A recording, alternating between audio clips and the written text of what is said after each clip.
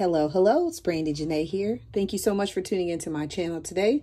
Welcome if you're new and welcome back if you're returning. In today's video, I am going to be doing another Hobonichi cousin setup. So if you're interested in seeing how I set this up, please be sure to stay tuned and I'll be right back. Oh, and while you're waiting, go ahead and hit that like button hit the subscribe button and hit the notification bell so you can be notified anytime I post a new video. All right, great. Thank you so much again for tuning in with me today. Like I said, I have my Hobonichi cousin in this beautiful Moterm planner cover. So if you missed my part one setup, please be sure to go and check that out. I will try to remember to link it in the cards above. Um, but yes, I have this beautiful black Moterm cover. And this is what I did so far. I set up the front. I did the back and I absolutely love it. Sorry for the ring. I'm gonna actually move this cover to the side for now. Sorry for the ring light. I know that's blinding. I did have a different clear cover on and then realized after watching some other videos that I purchased the wrong clear cover.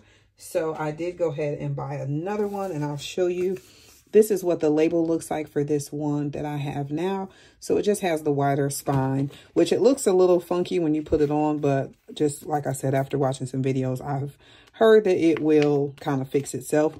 It just comes folded in half. So that's why it has this little like triangle piece. But I'm sure once this chunks up, it will fix itself. So again, this is what this looks like, and I did just order it from Amazon. And then while I was there, I also went ahead and purchased this pencil board, also on Amazon. So I have this because, again, I've been watching videos, and apparently it's essential. So I went ahead and got that. And then I also have this pocket here because I used to sell these in my shop. So I had a blank pocket and I just added these couple stickers on here with you are enough and then some extra little stickers, and these are all from the Happy Planner. And then Smitten Agenda on YouTube, I was watching, so go check her channel out. But she gave me this idea to add the words. So this was done off camera. This wasn't in my initial setup.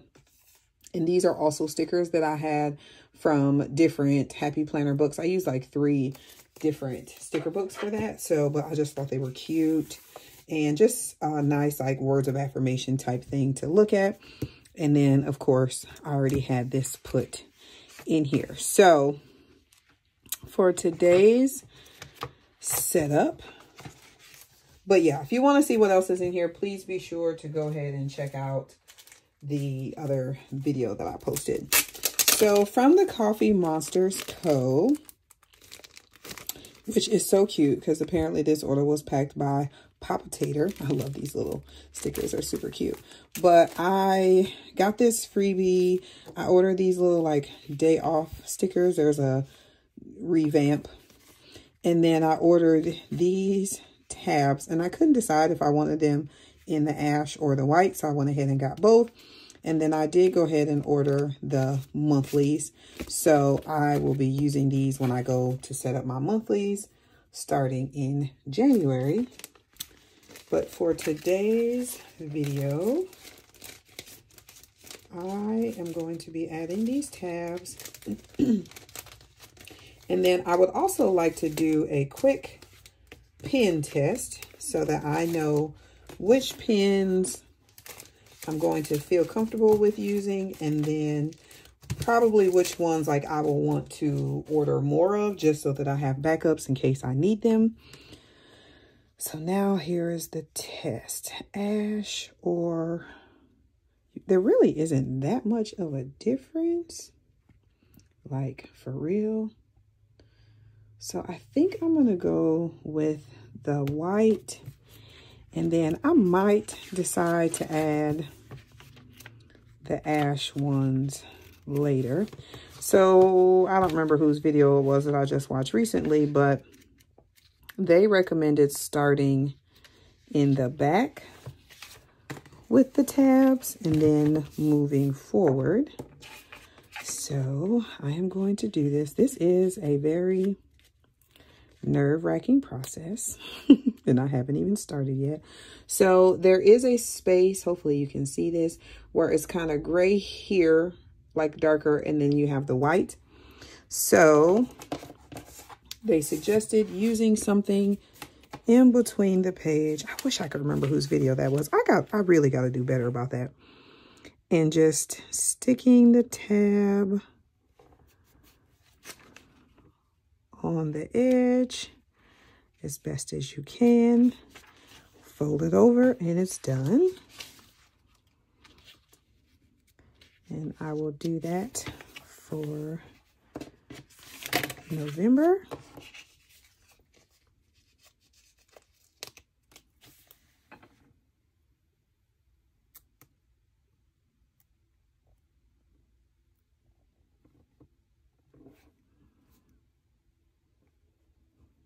it's really hard. It's really hard to tell if it's straight. I guess just trust the process. it's very difficult.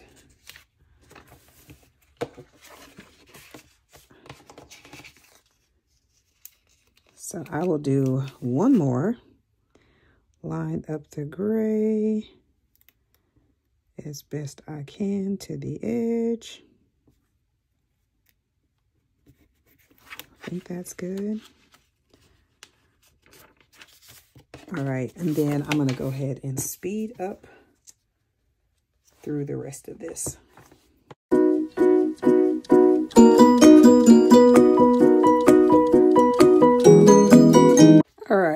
So, I mean, they're not perfect, but I feel like it's not too bad for a first timer. April and May, for some reason, got a little off. I don't know if it's the April or the May. I don't know. Anyway, April and May seem like they got a little extra spacey, but I'm not going to worry about it. I'm proud of myself for the first time getting that done. All right, and then the other ones are where the weeklies start, which they start here. So somehow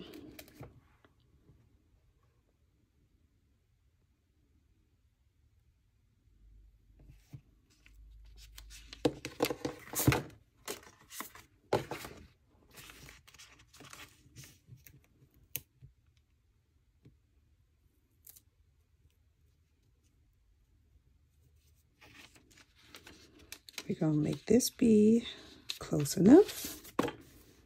Okay, so weeklies start here.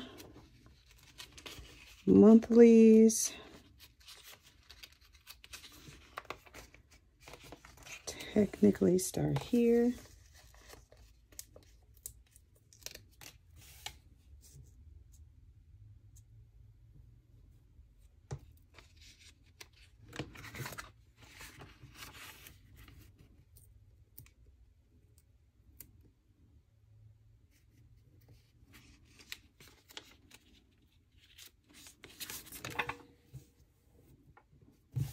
Close enough.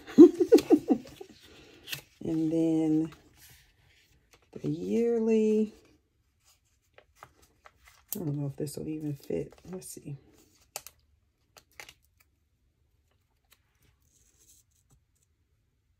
Mm, I might put the yearly tab.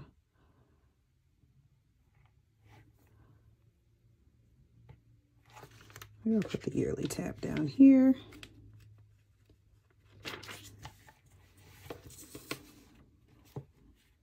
It's good. And then that way I can put the notes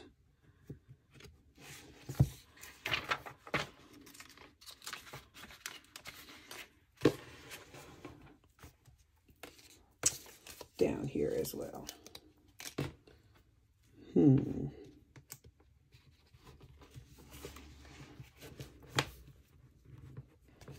Let's see. So roughly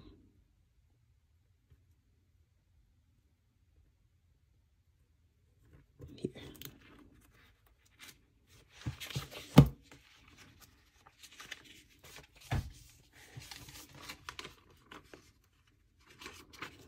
All right, and then, oh, that's weird. Yeah, I don't like that. We're gonna just take yearly off. Because to be perfectly honest with you, I probably won't even look at this page anyway. I might do, somebody said that they like just glue these pages together. I may even do that because the likelihood that I'll use this page is very slim. All right, yeah, so there we go. I think that looks good. I could have scooted, scoot, scooted, scoot. Let me see. Maybe I'll put the notes. I don't know if I can pull it up without ripping it.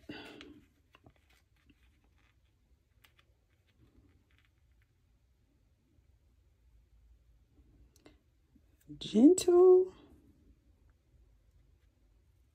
Gentle. All right, sweet. Okay, so if you're very gentle, you can pull the notes up without wrinkling it. And I'll just put the notes tab closer to there we go to the December tab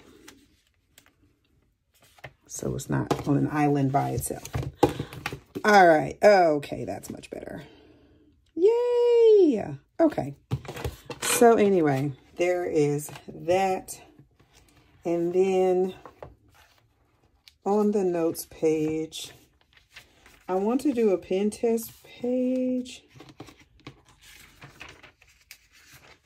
But I'm thinking I'd like to kind of do that in the back and not in the front. Yeah, so we'll use this page because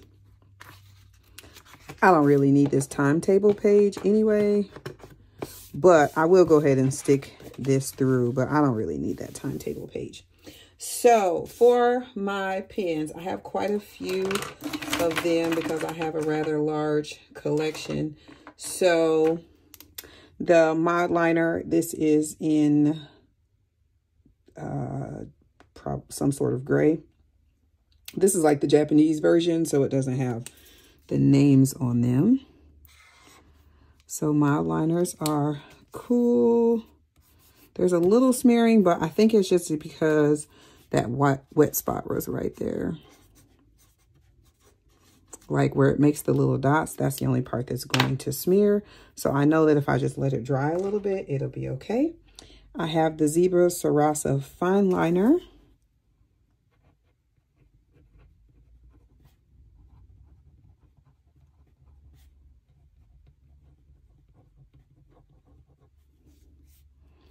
So if I let it dry, there's no smearing. If I don't, tons of smearing. This is in the black. It doesn't say what size it is. And then the shadowing on the back is like typical shadowing that I've seen. The Tombow Fudenosuke.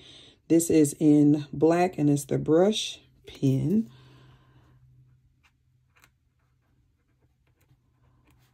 And I'm not going to try to spell Fudenosuke. So lots of smearing again if you let it dry. I know that these are a preferred pen. Then we have the Zig Color Dot in Pale Moss. So, woo, it literally like, oh my goodness, rubs off if you don't let it dry. Like it almost rubs off the page. So definitely let your clean dot markers dry completely. I have the Pigma, Pigma Micron in the 03.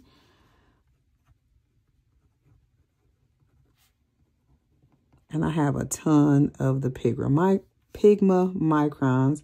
Very little smearing on this one. I don't know if you can see that, but very, very, very little smearing. Let me see if I can zoom in. Okay, there we go. That way I don't have to try to hold the book up. I'm not sure if that changes the quality of the video very much, but I'm trying. So then I have a Pilot G2. Oh, apparently I've never even used this pen. Hmm.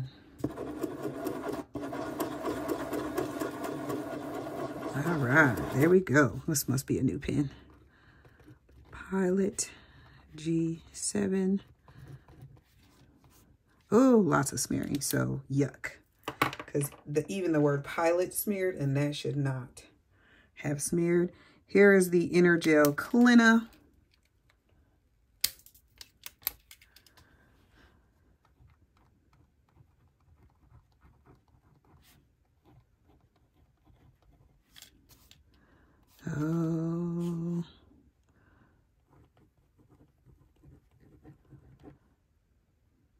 Like how it writes, but yeah, you definitely have to, you have to give it a second or else it smears, as does the rest of them. Here is the Sharpie roller. Oh, maybe I haven't.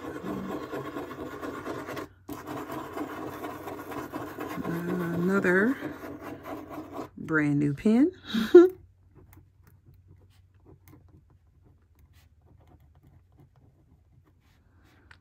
the 0 0.5. Oh, I don't see any. Well, except for that dot. But the dot is literally the only smear I see. Oh, and then the L. The bottom of this L looks like it has a little smear. So the Sharpie roller is good. Let me see what the back looks like. Oh, yeah, that's nice. So the Sharpie roller is a good one.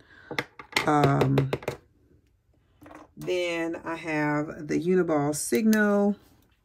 And you guys, I'm not trying to like write nicely. I'm just trying to get it done. So ignore the fact that I'm using like three lines to write a word. Ooh, that's bad. Yuck. No Uniball Signo. oh, I already did the Sharpie. Oh, no. Did I do a Sharpie S-Gel?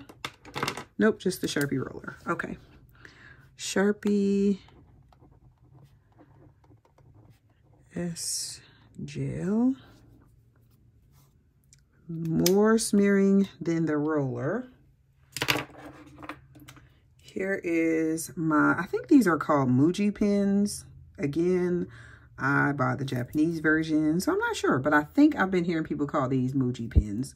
And this is in the 0 0.35. So we're just to write 0 0.35. These are like literally some of my favorite pens. And there is some smearing, but I think this is another one that if I just let it dry for a hot second, it won't smear anymore. I'm going to use it. Uh, yeah. So if you just let it dry for a little bit, the wet spots will obviously smear because some spots are wet, but I mean, not wet, but the dotted spots leave obviously more ink than the regular spots. All right, so this is just a regular tool pen. Not bad. It um, It's another one that if it dries, it'll be fine. It looks good through the back. Doesn't no bleed through, so that's good. I have a Uniball. Oh, I already did Uniball Signo. Where's my other Uniball Signo? Oh, that's funny. I just have it in a fancier. Oh, no, this is different. So this is a 207 and this one is a 307. So Ultra Micro. Micro.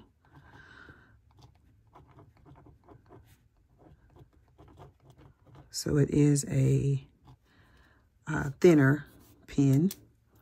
And it actually works better than the heavier one. So if you're going to get the Uniball Signo, get the 307s instead of the 207s because the 207 apparently is too thick. The ink is too, it's too much ink. So, and then I have this basic, just regular basic ballpoint pen because I have heard that ballpoint pens are like the best on this paper.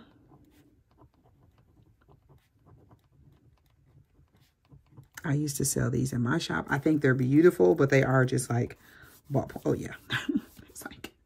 no smearing at all. so I do prefer a gel pen, although this pen, it writes nicely. It's just not as dark. I think that's the only reason why I like the gel pens a little bit better is because the, the writing is much darker. All right, and then I have this pen, which is multi MF something, something, something, something, something. Anyway, this pen I purchased out of town, and it was like freakishly expensive, but I just fell in love with it, so I went ahead and got it. But it's one of those, like, however you have it sitting is what color ink it is. So, like, if I push the button this way, it, it should write black. We're just going to call this the multi-pen. Just a little smearing. Then if I flip it this way, it should be red.